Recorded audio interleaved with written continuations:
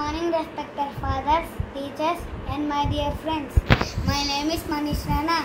I am studying first Jasmine in Don Bosco School. Today I made paper clothes with my parents' help.